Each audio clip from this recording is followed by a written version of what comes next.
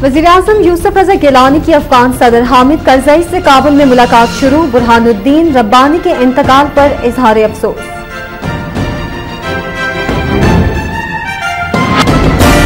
MQM ने सानहा बारह मई से मुतालिक विकीलीक्स के इल्ज़ाम मुस्तरद कर दिए। फारूक सत्तार कहते हैं मुतहदा अमन पसंद जमात है और अदलिया की आज़ादी पर मुकम्मल यकीन रखती है।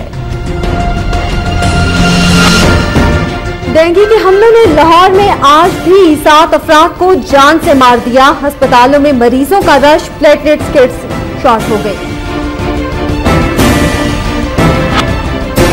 डेंगू का खतरा, पंजाब में स्कूलों के औकात सुबह नौ से तीन बजे तक कर दिए गए। निकर्स और हाफ़ स्लीव शर्ट्स पर पाबंदी।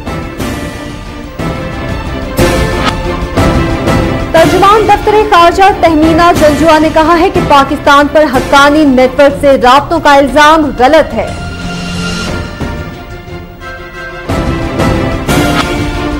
आर्मी चीफ का सांघर में सैलाब से मुतासरा इलाकों का दौरा, पाक फौज मुश्किल की हर घड़ी में कौम की खिदमत के लिए तैयार है जनरल कयानी।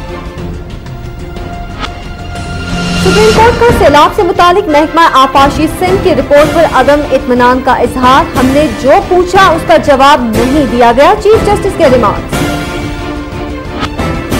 और मुस्लिम लीग नून के कायद मियाँ नवाज़ शरीफ ने कहा है कि कराची में कयाम अमन हुकूमत की ज़िम्मेदारी है। भरपूर कार्रवाई ना की गई तो हालात मजीद खराब होंगे।